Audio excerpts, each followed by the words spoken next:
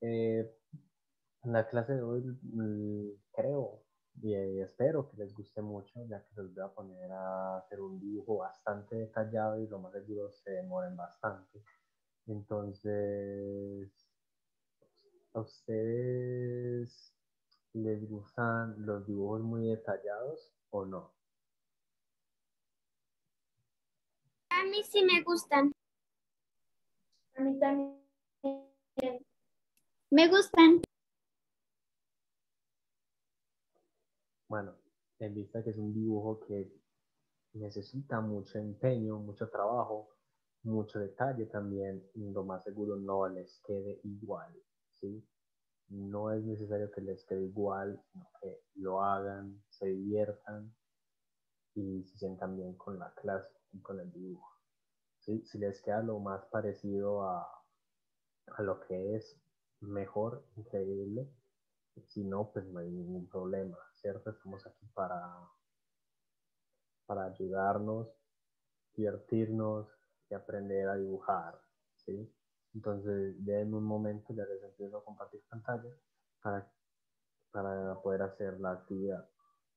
Tengan por favor a la mano el papel, lápiz, borrador, también muchos papeles, por si de pronto se equivocan en algo.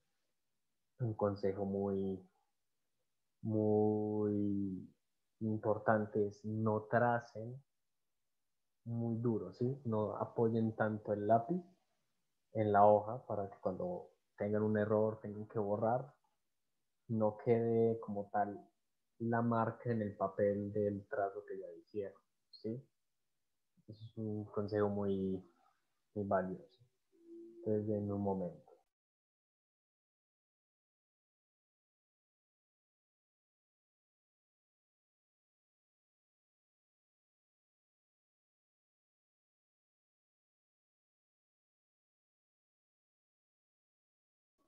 Ya están viendo mi pantalla.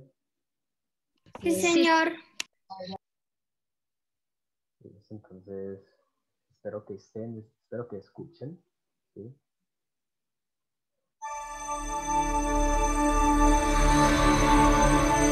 ¿Están escuchando el video? Sí, señor. Sí, señor. sí, señor. Lo voy a poner a correr del todo, ¿sí? Hasta el final y ya después lo voy a volver desde el inicio y lo voy a ir parando en algunas, en algunas partes, ¿sí? para que ustedes empiecen a hacer el dibujo paso a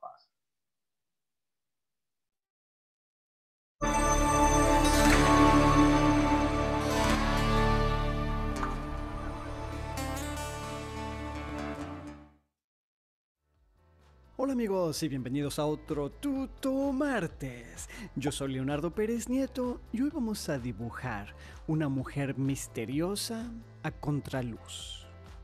En mi lapicero Tuto 3 seleccioné la puntilla de 0.5 milímetros de dureza media. Con esta comenzamos trazando la cabeza, el cuello y los hombros.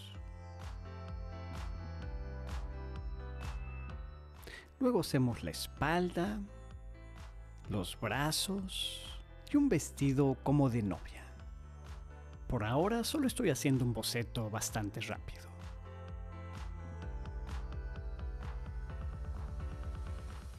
Y podemos limpiar con el borrador moldeable. La lista con todos los materiales que estoy usando está en la información bajo el video.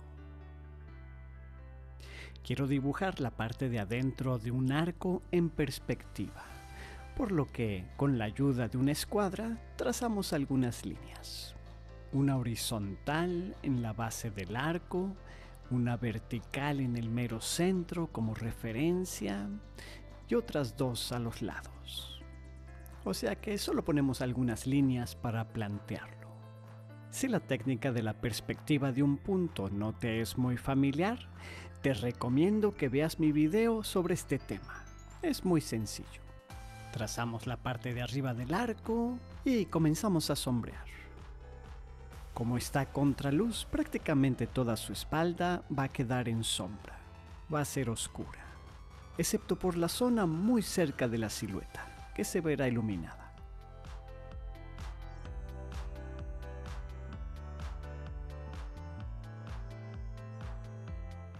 Y ahora cambio a este portaminas Cahueco que tiene una mina ancha de 5.6 milímetros y es suave. Con este podré lograr mucho más rápidamente el fondo oscuro, pues se tiene que cubrir mucho terreno. Mientras seguimos trabajando, te quiero preguntar si te gustaría que hiciera más tutoriales sobre dibujo digital como el de la semana pasada en el iPad o si preferirías más tradicionales como los hemos hecho. Por favor, házmelo saber en los comentarios. Y ahora regresamos al Tuto 3, pero esta vez voy a seleccionar una mina 0.7, que es un poquito más gruesa que con la que estábamos dibujando originalmente, y también un poco más suave. Con esta hacemos la parte de adentro del arco, que está recibiendo un poco de luz, sobre todo en la parte del fondo, porque de ahí es de donde va a estar viniendo. La luz que está al final del túnel. y se va a ir oscureciendo conforme se aleja.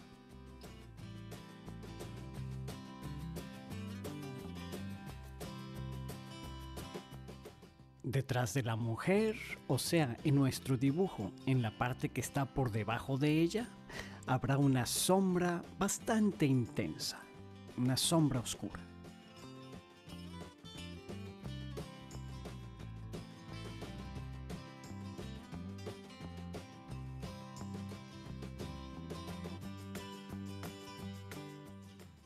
El suelo también tendrá más luz en esta zona y se irá oscureciendo. Además, también la pared debe de proyectar una sombra. Y si llegaste hasta este punto en el video, me encantaría saberlo. Por favor, en los comentarios escríbeme el código secreto, la novia misteriosa. Y está listo. Si te gustó, por favor dale like. Suscríbete a Arte Divierte si no lo has hecho aún. Dale click a la campanita para recibir notificaciones de nuevos videos y yo te veré con más creaciones el próximo martes. Bueno, quiero saber cómo les pareció el dibujo.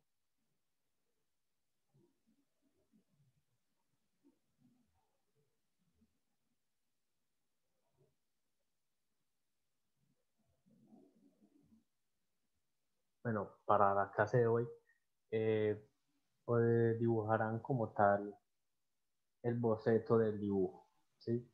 Para la próxima ya se les pediré que compren el, portaminas 0.5, eh, otro 0.7 y un 2.0. Si es posible, pueden comprar el el portaminas que está en el video, que es el de la mina grande, donde pueden hacer la parte, a, la parte mm, más oscura del dibujo. Samantha, ¿qué pregunta tiene? Hola, profe, es que llegué un poquito tarde porque es que sin querer se me pasó la hora. Entonces no sabía qué estaban haciendo. Que si me podían decir. No, no te perdiste de mucho. Eh, de pronto eh, viste alguna parte del video donde se mostraba el producto final de lo que haremos en el transcurso de las clases. Como, como un dibujo de eso. Eh, no, vamos a hacer el dibujo que está en el video. El dibujo, ¿sí? sí. Ok, entonces ahorita tenemos que pintarlo. Eh, ahorita no, porque no creo que les alcance el tiempo, ya que es un dibujo que necesita bastante detalle, bastantes medidas. Así que esto me lleva a un punto. ¿Alguno sabe la técnica que pidió el señor en el video? Que es la técnica del punto, ¿sí? Del punto uno. ¿Alguien la sabe? ¿Alguien no la sabe?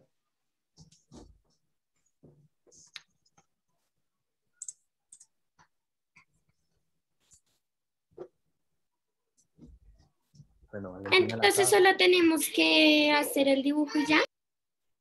Sí, pero necesito que si alguien, si quiénes son los que saben y quiénes son los que no saben la técnica del punto uno, ya que va a ser una parte muy importante en el, en el dibujo, ¿cierto? Entonces ya hay dos personas que la saben y Profe. las otras personas que no. Dime, Samantha. ¿Puedes enviar el link del videito, por favor? Ya lo voy a, ya lo voy a enviar y por si alguien no necesita, también, lo voy a, también voy a estar presentando pantalla. ¿sí? Entonces ya hay tres personas que saben el, sobre el- la técnica del punto uno. Entonces, bueno, Taliana no sabe cuál es la técnica, entonces también te presentaría el video para eh, sobre- para aprender esta técnica que no es tan difícil. Pues Amanda tampoco la sabe. Y listo por lo que veo. Eh, hay- bueno, ahora hay tres personas que no la saben. Entonces no hay ningún problema. Es un video corto, ¿sí? Eh, entonces voy a proceder a presentarles pantalla a los que no saben, ¿sí? Ya después de terminar esto, eh, volveré a presentar pantalla del video sobre el dibujo que haremos en el transcurso de estas clases. Entonces, bueno, en un momento. Pues yo como tal no sé cómo hacerlo, pero estoy intentándolo.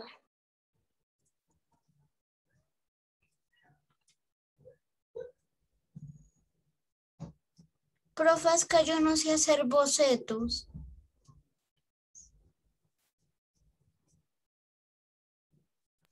No, es sencillo. el- ahorita en el video que te voy a presentar, él lo va a explicar, ¿sí? Es dibujar, pero de una forma como pasítica y principal. Si te equivocas, pues como lo hiciste pasito, lo puedes borrar de una forma fácil. Exactamente. Lo que dice Mariana es correcto. Ok. Se están viendo la pantalla, están viendo el video. Sí, profe. Sí, señor.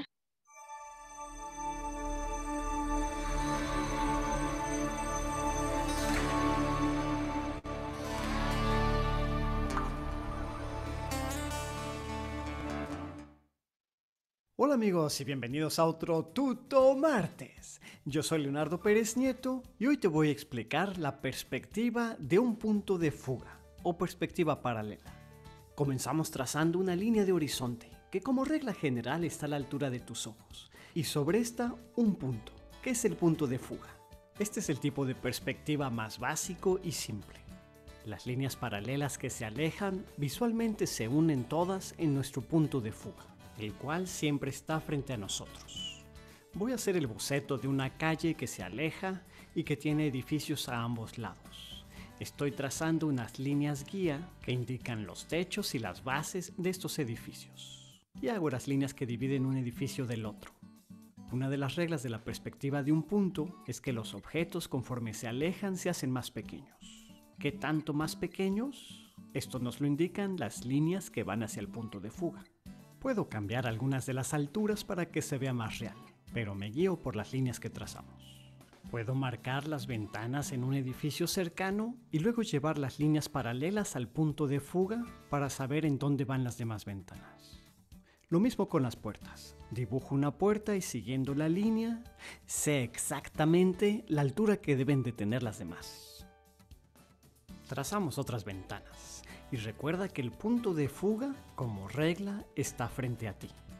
Rápidamente vamos a hacer algo parecido del otro lado de la calle. Ahora, como la línea de horizonte está a la altura de tus ojos, lo que está por encima de ella, como en este caso los techos, los vemos desde nuestro punto de vista hacia arriba, mientras que lo que está por debajo del horizonte siempre lo vamos a ver hacia abajo. Este concepto te lo voy a explicar un poco más claramente con el siguiente ejemplo. Trazamos la línea de horizonte y sobre esta el punto de fuga.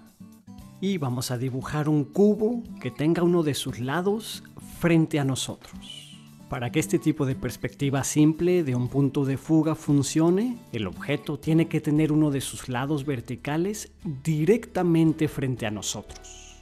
Trazamos una línea imaginaria desde cada uno de sus vértices al punto de fuga. Si el objeto estuviera girado, entonces este tipo de perspectiva no aplicaría. En ese caso usaríamos otra que vamos a ver en una lección sucesiva. la perspectiva de dos puntos de fuga. Marcamos la base del cubo, repasamos estas líneas y de sus vértices posteriores trazamos hacia arriba para delimitar la cara de atrás. Hasta ahorita este cubo es como si fuera transparente o de alambre. Voy a repasar con un marcador las líneas que veríamos si fuera sólido. Resumiendo las tres reglas de la perspectiva de un punto, sabemos que lo más lejano se ve más pequeño. Por lo tanto, la cara de atrás del cubo es un rectángulo más chico que la de enfrente. Además, las líneas paralelas de las caras laterales convergerán en un solo punto de fuga. Y por último, como este cubo está por debajo del horizonte, que está a la altura de nuestros ojos, entonces lo vemos desde arriba hacia abajo. Por eso podemos ver la cara de arriba. Y ahora estoy dibujando otro cubo, pero que va a estar por encima del horizonte. Lo trazamos de la misma manera que el anterior, primero haciendo un cuadrado y luego proyectando todos sus vértices hasta el punto de fuga. Luego con una línea horizontal, que en este caso es la tapa de arriba, Anteriormente fue la base, la proyectamos hacia abajo para encontrar la opuesta. Bien, y repasamos con un marcador las líneas que veríamos si fuera un cubo sólido. Como está por encima del horizonte, entonces lo vemos hacia arriba y podemos ver su lado de abajo. Nota que las caras horizontales, mientras más alejadas del horizonte, las vemos más anchas, más cerca de su forma real que es un cuadrado mientras que las caras que están cerca del horizonte las vemos más de perfil y por lo tanto más delgadas. Muy bien, vamos a ver cómo funciona todo esto en algunas fotos y dibujos. Esta es bastante simple en cuanto a que solo tiene unas cuantas líneas paralelas. Si las seguimos, todas van a dar a un mismo punto de fuga. Esta imagen parece mucho más compleja. Sin embargo, todas sus líneas paralelas, que en la realidad estarían perpendiculares a nosotros, como los lados laterales del cubo, van a dar a un mismo punto de fuga. Este es un boceto del artista Piranesi, que como era arquitecto dominaba totalmente la perspectiva, y el punto de fuga está frente a nosotros en el horizonte.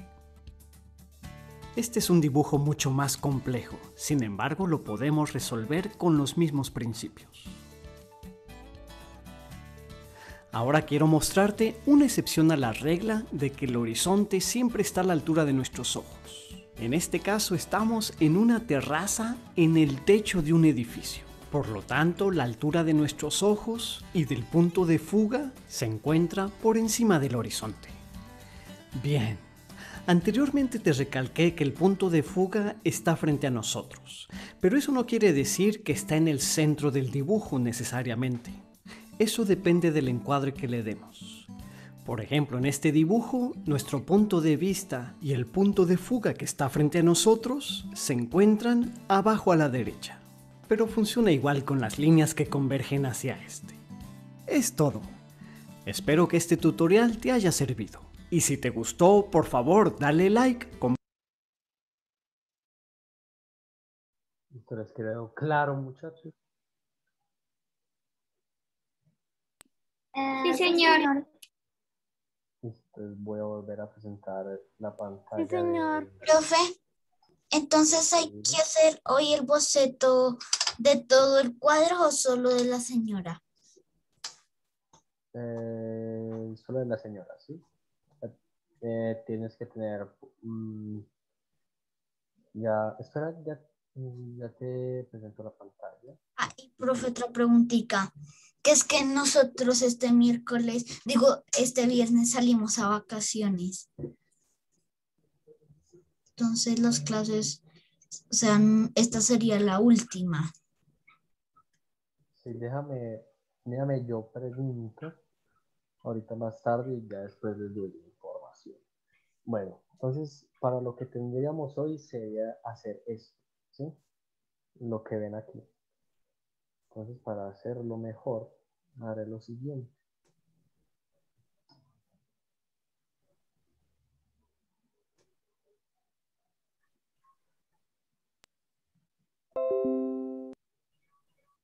¿Están viendo esto aquí? No, señor, sale un cuadro como azul encima del, del video donde dice cómo dibujar a una mujer misteriosa. Entonces, espérenme un momento.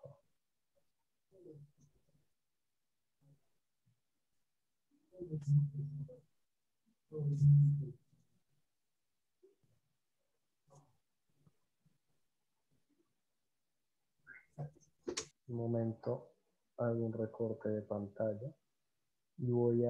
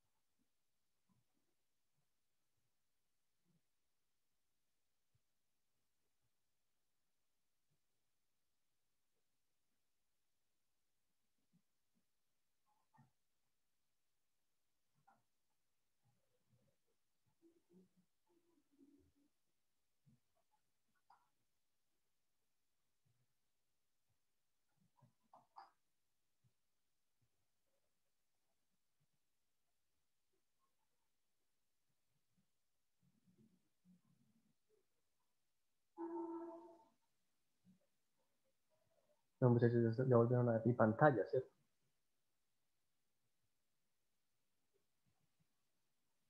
Muchachos, Profe, si se ve. entonces lo que haría en la clase de hoy sería esto, las líneas rojas, que serían la parte del túnel, y la parte de la señora, ¿sí? Que la señora es algo bastante sencillo de hacer. Eh, como tal, el punto de fuga estaría centrado aquí, ¿sí? en el centro de toda la hoja. Después me irían de aquí para abajo la cabeza, la cabeza de la señora y empezarían a trazar sus líneas, ¿sí? Como dijo el señor en el video, que todas, te- que todas sigan el mismo, el mismo trazado, ¿sí? Para hacer el boceto recuerden no, no presionar tanto el lápiz, no esforzarse tanto, porque si se llegan a equivocar a la hora de borrar no podrán, se quedará grabado como tal en el papel la línea que ya trazaron en el, en el dibujo anterior, ¿sí? Entonces voy a presentar otra vez la, la pantalla del dibujo y lo voy a, a poner a rodar hasta que hasta cierto punto para que vayan avanzando con el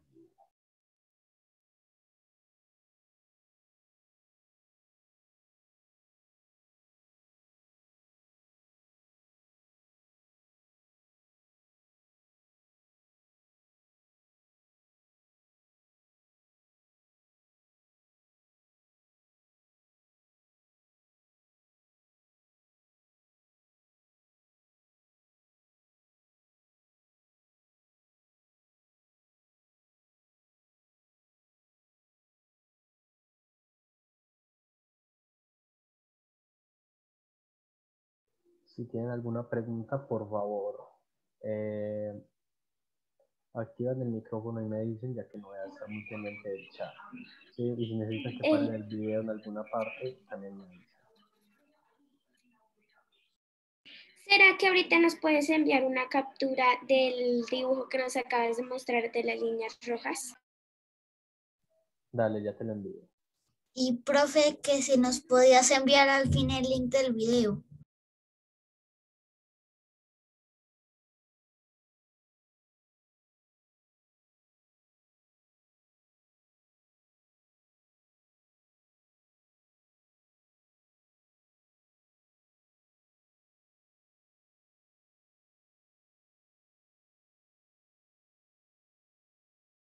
Listo, en el grupo de Skype está todo, está el link del video y está la, la imagen sobre las líneas rojas.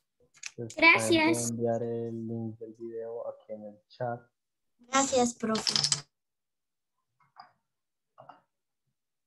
Listo, voy a continuar a presentar pantalla.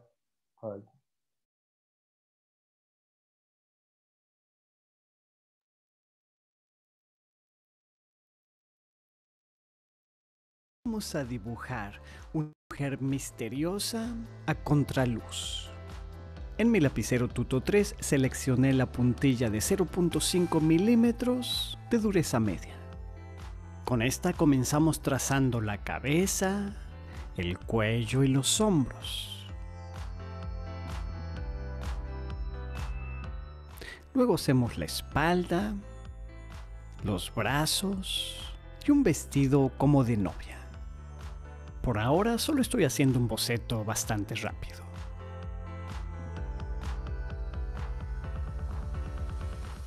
Y podemos limpiar con el borrador moldeable. La lista con todos los materiales que estoy usando está en la información bajo el video.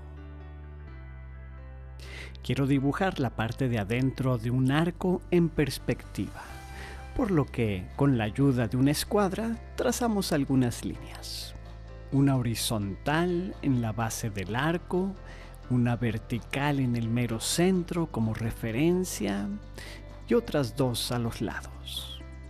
O sea que solo ponemos algunas líneas para plantearlo. Si la técnica de la perspectiva de un punto no te es muy familiar, te recomiendo que veas mi video sobre este tema. Es muy sencillo. Trazamos la parte de arriba del arco y comenzamos a sombrear. Como está contra luz, prácticamente toda su espalda va a quedar en sombra. Va a ser oscura, excepto por la zona muy cerca de la silueta, que se verá iluminada.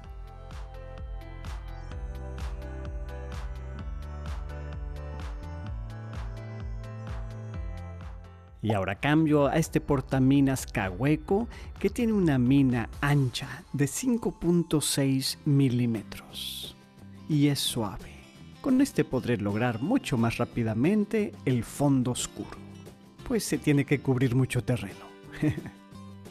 Mientras seguimos trabajando, te quiero preguntar si te gustaría que hiciera más tutoriales sobre dibujo digital como el de la semana pasada en el iPad o si preferirías más tradicionales como los hemos hecho. Por favor, házmelo saber en los comentarios. Y ahora regresamos al Tuto 3, pero esta vez voy a seleccionar una mina 0.7, que es un poquito más gruesa que con la que estábamos dibujando originalmente, y también un poco más suave.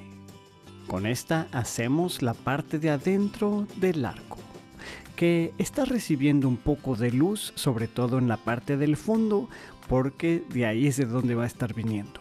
La luz que está al final del túnel. y se va a ir oscureciendo conforme se aleja.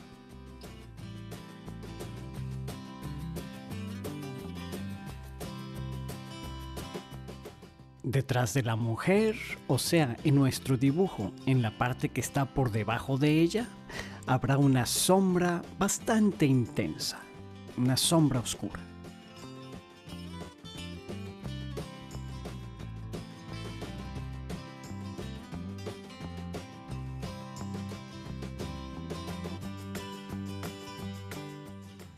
El suelo también tendrá más luz en esta zona y se irá oscureciendo. Además, también la pared debe de proyectar una sombra.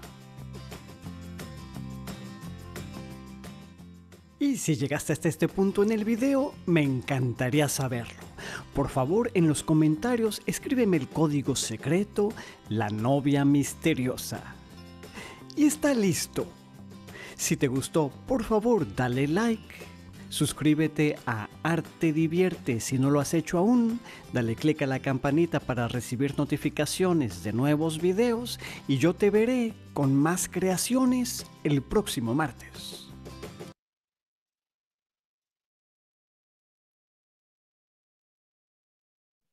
¿Alguien necesita que repita el video? ¿Alguna explicación o algo?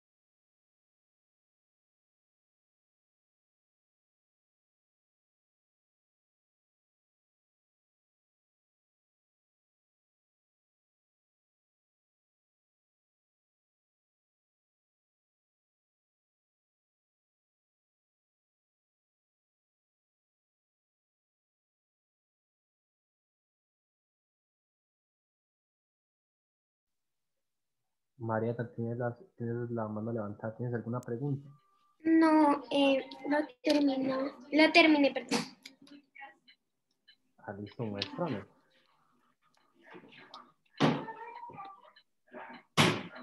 Quedó bien, te quedó bien, quedó bien, te felicito.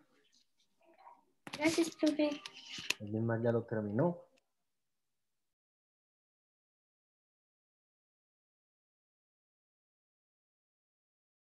Ya lo terminé.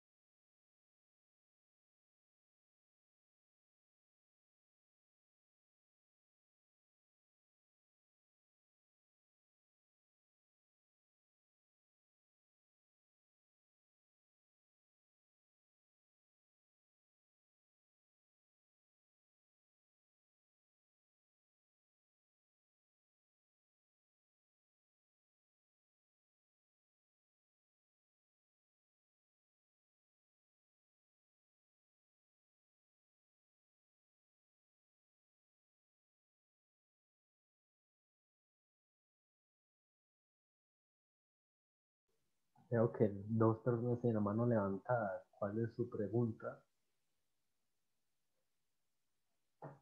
Eh, yo le iba a preguntar, quería mostrarles antes de la clase este dibujo.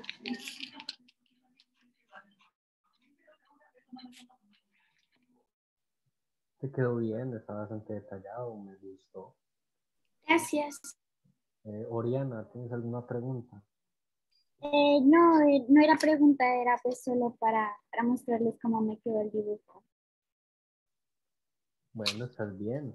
Ahora puedes darle, puedes ir dándole color, ¿sí? que serían las sombras, empezando a, empezándolo a detallar. Tengo una pregunta. Dime, ¿Cuándo vamos a empezar con el dibujo, por decirlo, eh, principalmente hacerlo por figuras? ¿cómo, cómo, cómo? Es que eh, como un dibujo que se empieza por figuras. Tú ves como el, eh, lo que vas a pintar y como que lo vas mirando y vas sacando alguna figura. Por decirlo, este cosa. Entonces, un semicírculo, un triángulo, un círculo, otro semicírculo y así. Puedes ir mirándolo. Puedes ir mirándolo. Podríamos hacerlo en alguna clase. Yo lo hice una vez y me quedó así.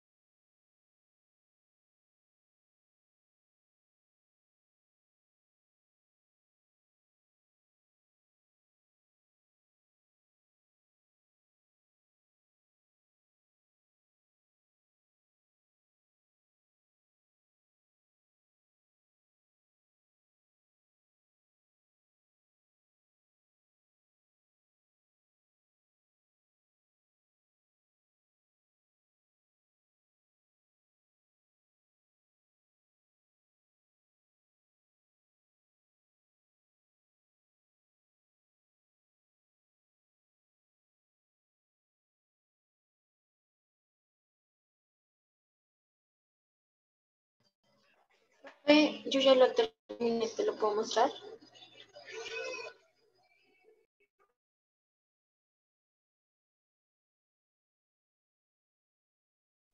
Sí, dale, lo puedes mostrar.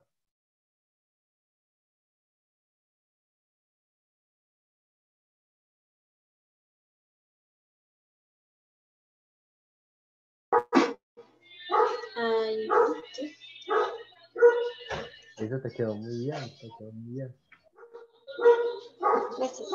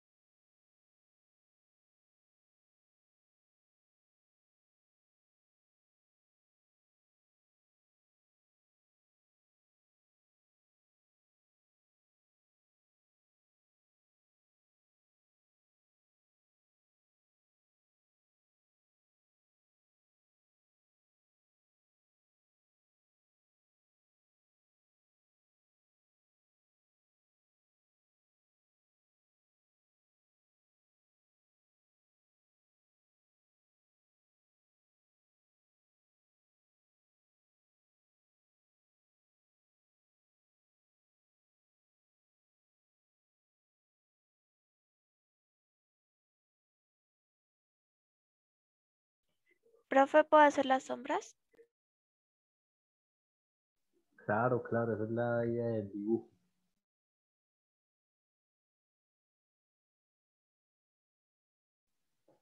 Bueno, por lo visto hay mucha gente que ya terminó el trabajo. Entonces voy a dar unos cinco minutos y después les voy a preguntar a ustedes qué es lo que quieren que hagamos la próxima clase, que sería de pronto después de que volvemos de, vacaciones. Y si se podría hacer en vacaciones, pues ya les tendría la información para ahorita más tarde o mañana. ¿sí? Ahorita lo preguntaría. Bueno,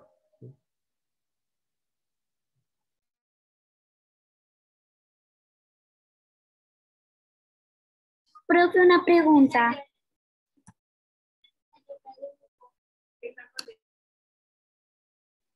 Dime. Eh, Puedo, ya, miren, así es como me, me quedo. Eh, ya le hice la sombra. ¿Le puedo hacer las sombras de los lados, que es la sombra muy, muy oscura o no? Sí, sí, claro, claro, claro. Ah, ok. Gracias.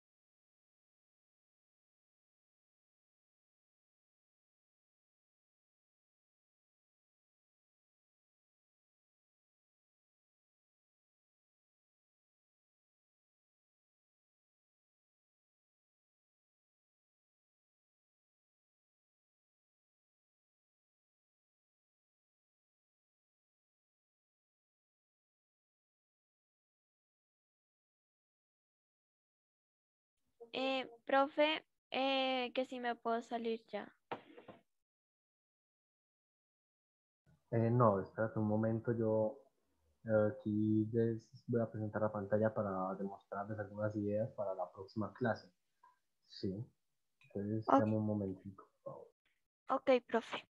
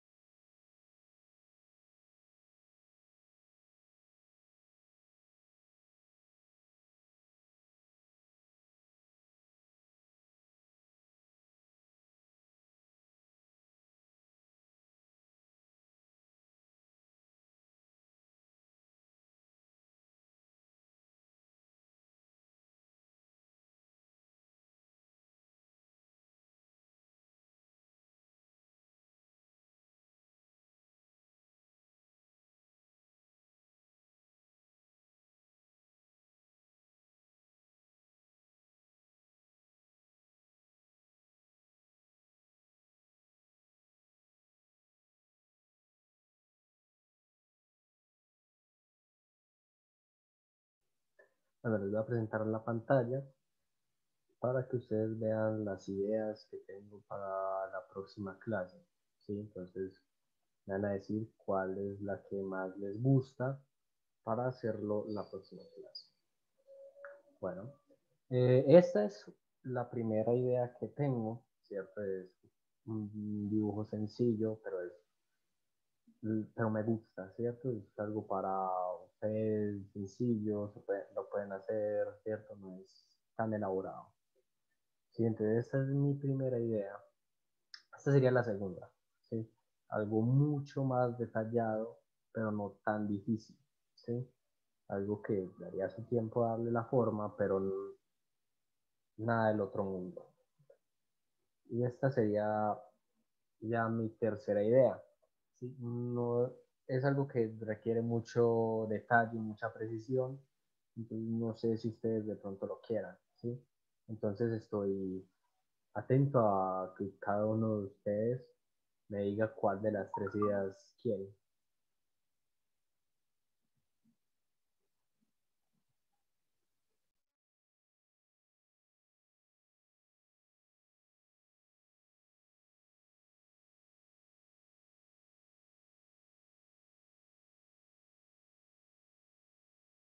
Em, yo pienso que es mejor la primera. Eh, yo sé eh, que son muy chéveres la segunda y la tercera, pero debemos irnos capacitando a medida eh, de pues, lo más básico, por decirlo así, para después sí crear una obra de arte como esa. Después del panda me parece que podíamos hacer la rosa y después el carro. Yo pienso igual que Mariana, me gustaría primero hacer el panda eh, porque me gustó y, y así deberíamos como ir primero con un nivel un poquito más fácil e ir subiendo nuestros niveles. A mí me gustó la idea de Mariana y Oriana porque podemos hacer primero lo fácil y luego como lo más inspirado de tiempo. Yo prefiero la rosa por lo que ya he hecho varios dibujos avanzados.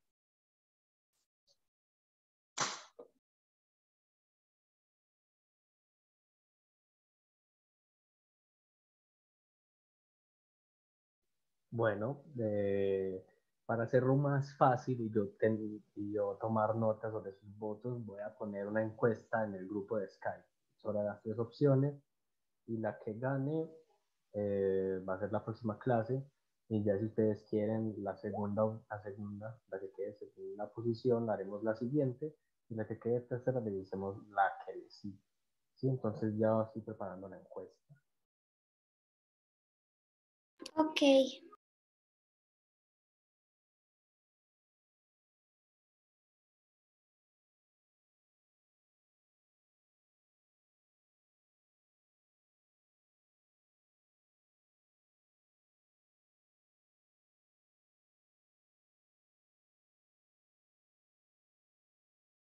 Una pregunta, eh, el próximo periodo vamos a seguir con este taller de dibujo.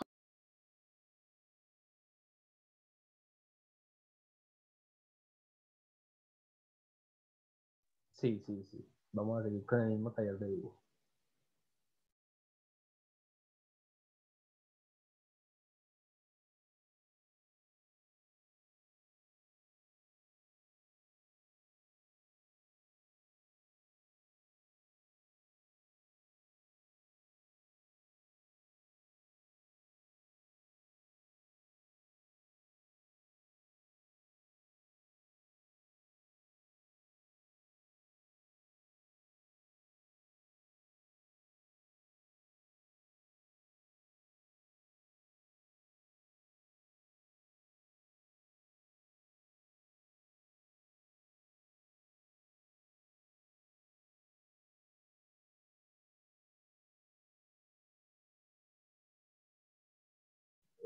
Listo, ya envié la encuesta al grupo de Skype. Entonces ya pueden ir votando.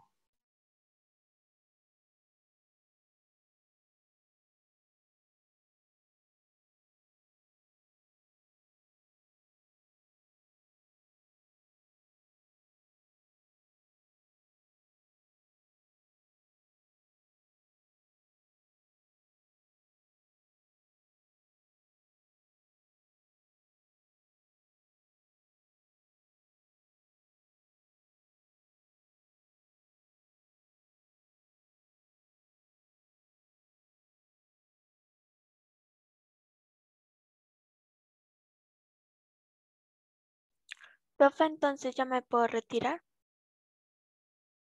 Sí, ya lo podrías hacer. Bueno, Bueno, eh, Eh, gracias. dale. Bueno, ya la encuesta está hasta hoy en la noche. Entonces, si tienen contacto con alguno de los compañeros, por favor díganles que voten para así tener más interacción en el grupo y así no hacer algo que los de los demás no quieran hacer. ¿Sí? Entonces, esa sería la idea. Y muchachos, creo que eso sería todo por el día de hoy. ¿Sí? Pero recuerden mandarme las cosas por el Padlet o por el correo. ¿Sí? Si necesitan que los vuelva a enviar, los vuelvo a enviar por el grupo de Skype. No hay ningún problema.